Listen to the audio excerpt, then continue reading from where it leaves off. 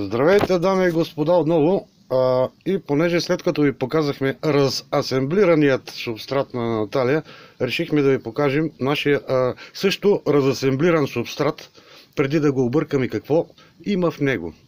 Значи в тези двете тавички сме го разделили на минералната част, т.е. тези компоненти, които са изцяло минерални и от другата страна са органичните компоненти. Тоест, в ляво ще започна да изборявам от най-задната част. Това в кафевичкото е лава. Това другото до него е пемза италянска. Тази купчинка е зеолит. Ситен. Ситен зеолит, да, тази купчинка е ситен вермикулит. Ето тук има един интересен материал, който си го добиваме тук до Копривтица, роневце гранит. Така, другата купчинка е, е един вулканичен трошляк, който го има на биклемето. Много от вас знаят къде точно може да се накопай. Продължаваме насам. Това е варненския пясък. Прословутия варненски пясък. До него е агролавата или гръцката пенза. Те купчинки малките са базалт, малко по-едър зиолит и ситни камъчета. В дясната тавичка имаме ето почвата. Значи тук всички тези количества са за една порция. Т.е. като пропорции мога да видите за какво го става въпрос. Значи това е почвата.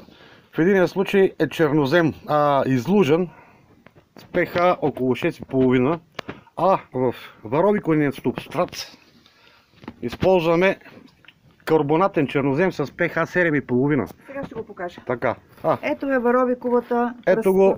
Да, точно, да. Това е това е отровната съставка на, нашия, на нашия локален субстрат. Да продължим насам. Това е торфа, ситна фракция и купчинка текаче. Като цяло пропорциите Покажи отблизо торфа, че няма Така. нищо общо с този торф, който Така, е... не, не, не. Той, който си е купувал такъв торф, знае, ето това е торф.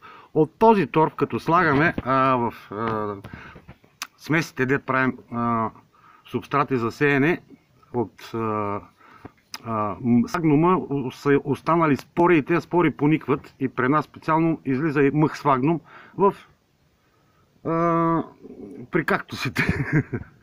така. При семеначетата, да. Така. И мисля, че е достатъчно така. Вижда се всичко. Да, може да добавиш, че в субстрата, който забъркваме за улфофори, зари, Да. да. Преобла- слагаме повече а, Повече от тия фракции, да. и повече от те са едрите фракции. Да. Значи повече се добавя едра фракция. Там количеството на органиката е малко по-малко и за сметка на това пък трошляците и каманаците са повече. Заради репите. Е, благодаря за вниманието.